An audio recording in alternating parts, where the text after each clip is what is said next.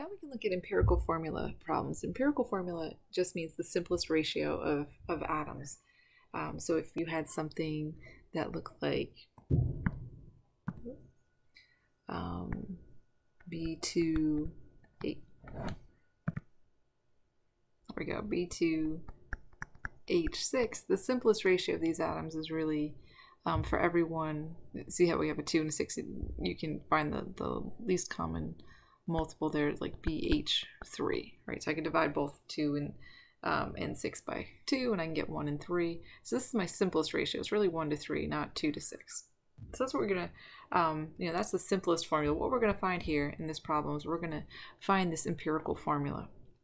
Um, usually what they do is they give you the mass percent of the elements and then you assume you have a 100 gram sample. If you do that, you could just turn all those percents to grams. And then once you're in the gram world, you can convert from grams to moles using molar mass. Uh, and then once you're in the moles, you want to find the simplest molar ratio. So then you divide by the smallest number of moles, which everyone has the smallest number. Uh, and then you should get some whole numbers. If you don't, there's one extra step where you can multiply by some number to get everything into um, whole numbers. And so we'll do a couple different problems of this. It's, it'll make more sense as you go through and do it. Uh, so we have a compound is composed of 87.5% nitrogen, keep this flow chart up a little bit, and 12.5% uh, hydrogen. Find the empirical formula. So whenever you see these percents and they say something about empirical formula, you're going to do the same process. So mass percent, they're given those. Assume you have a 100 gram sample. If I have a 100 gram total in my sample and 87.5% of it is due to nitrogen, that means I have 87.5 grams of nitrogen. And now you're probably more comfortable in the gram world than you are in percent world and the rest of that 12.5 grams is going to be hydrogen. Now what you want to do is convert from grams to moles. How do you do that? Molar mass. So the molar mass of nitrogen is 14.01 grams per one mole. And again, I just got that from the um, periodic table. 1.01 grams of hydrogen for every one mole. So now I convert everybody to moles. When I do that, I get 6.25 moles of nitrogen and 12.37 moles of the hydrogen. And now I want to find the simplest molar ratio, so I figure out which number is smaller, that's 6.25, and I'm going to divide both of them by 6.25. That means one of my answers should end up being 1, and this one is 1, and this one ends up being about 2. And so my molar, now these just become my subscripts. So I have nitrogen, and just write it whatever order they give it to you. They give you nitrogen and then hydrogen, write it in that order, and that's fine.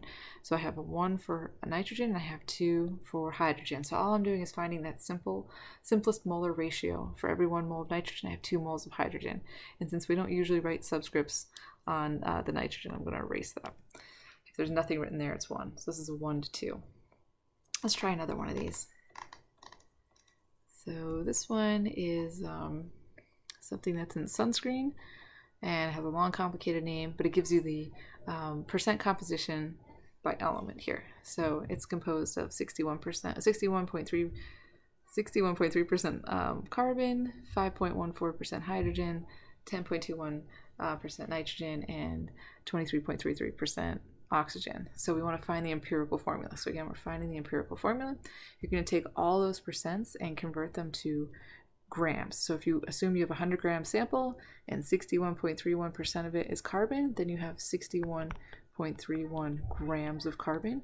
You have 5.14 grams of hydrogen. You have 10.21 grams of nitrogen and 23.33 grams of oxygen. Now you just want to take those grams, convert them to moles, and you're going to do that with the molar mass. So I look up the molar mass of carbon, and it's 12.01 grams per one mole. For hydrogen, it's 1.01 grams per one mole. Nitrogen, 14.01 grams per one mole. And oxygen is 16 grams per one mole. So pause the video for a second, work those out in your calculator. So again, I'm just dividing each one of these atoms, these elements by their molar mass. I get 5.105 5.09, 5.09, and nitrogen was 0.7288 and oxygen 1.456. All right, so those are our moles. Now to find the simplest molar ratio, we're going to divide by the, everyone by the smallest number of moles, which is the 0.7288.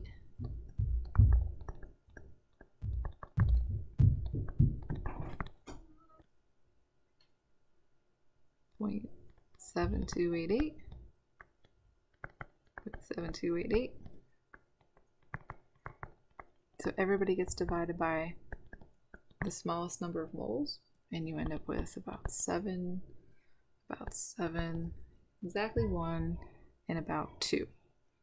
So the empirical formula for this one is C, H, N, O, and I have seven carbons, so that becomes my subscript, seven hydrogens, one nitrogen, and two oxygens. So that's the empirical formula. That's the simplest um, molar ratio of atoms in this compound. A similar version of um, empirical formula of this problem is something we're going to do in lab. All right, and so this is very, this next problem is very similar to what we're going to do in lab. So look, this is also similar to your pre-lab. So the pre-lab is always related to the lab. Looks just like this problem. So in lab, we're going to have a hydrate. It's not this one, but we're going to have, so in this problem, you have a hydrate of um, sodium carbonate. So a hydrate is just something that absorbs a certain amount of water in the crystal structure. So you have the solid form of it, but it actually incorporates some of the water molecules into the crystal structure. And for this, in this case, this X represents a number. We're going to try to find that X. We're going to try to figure out how many moles of water um, are there for every one mole of sodium carbonate. So that's how it's an empirical formula. It's kind of this ratio of water molecules to um, formula units of sodium carbonate. Um, and so, so hydrate contains a certain amount of water. You have a 2.558 gram sample of the hydrate. You're going to heat it and it drives off the water. So in lab, what we're going to do is we're going to put this sample in a crucible. We're going to heat it up with a Bunsen burner um, and you're going to weigh it before and you weigh it after and you're going to see that it loses some weight and the weight that is lost is the mass of the water. So you're going to drive off the water that's in this, this hydrated complex. Now when we do it in lab, you're going to use um, copper, uh, yeah, copper sulfate, copper 2 sulfate, and it's going to have it's going to be blue, and then you heat it up and it turns white. Um, and so you know the hydrated complex is blue, and then it, it becomes white. Um, so you can actually see that in lab. But in this case, we just have a 2.558 gram sample before, and then we drive off all the water and we have a 0.98 gram sample. So we can figure out the mass of water um, that was removed just by subtracting. So we have 2.558 grams. We're going to subtract out the 0.948 grams and we get 1, 1.610 grams of water. And this one, this 0.998, that is the sodium uh, carbonate. So now I know grams of sodium carbonate, I know grams of water. I can just convert both of those to moles. Uh, how do I do that? I need to know the molar mass.